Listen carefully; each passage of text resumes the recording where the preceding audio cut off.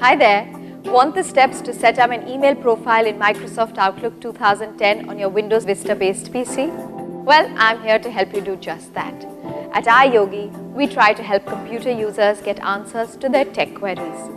Take note that when you set up an email profile in Outlook 2010, every time you start the program, it will open the specific email profile as well as prompt you for the same. So, here's how you can set up an email profile in Outlook 2010 on your PC. Follow me. For demonstration, we are using a Gmail to set up profile in Microsoft Outlook 2010. Open Internet Explorer, type www.gmail.com in the address bar and then press enter on your keyboard. Log into your Gmail account, click on options and then select mail settings. Under the forwarding and POP IMAP tab, make sure POP is enabled. Select enable POP for all mail, even mail that's already been downloaded radio button and then click on save changes. Minimize your web browser Add your account to Outlook 2010. Open Microsoft Outlook 2010. If you haven't run Outlook 2010 yet, click Next to start setup and add your email account. Select Yes to add an email account to Outlook. Click on Next. Enter your account information and then select Manually Configure Server Settings or Additional Server Type radio button. Click on Next. Select Internet Email and then click Next. Enter your username, email address and login information. Under server information, enter account type POP3, incoming mail server pop.gmail.com, outgoing mail server smtp.gmail.com.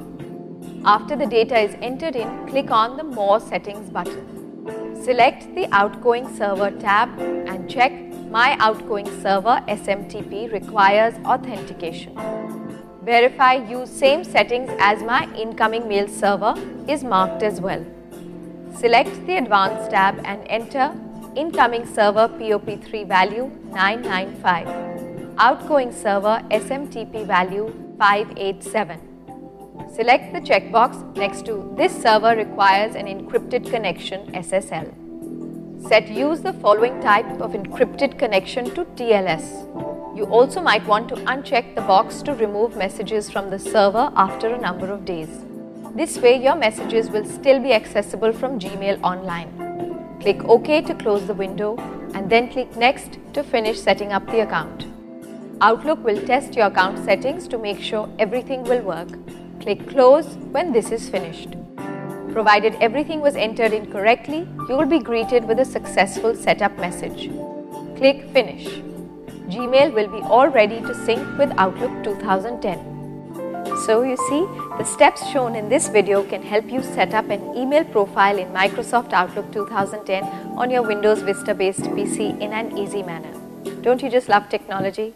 At iYogi, we're on standby to help you get more out of your PC along with its related software and programs. If you have questions on antivirus, security, protection, or on how to work your other devices with your PC, such as syncing your printer, MP3 player, camera, or router, etc., just give us a call. We'd be delighted to help. Go ahead, have fun with your PC. Good karma.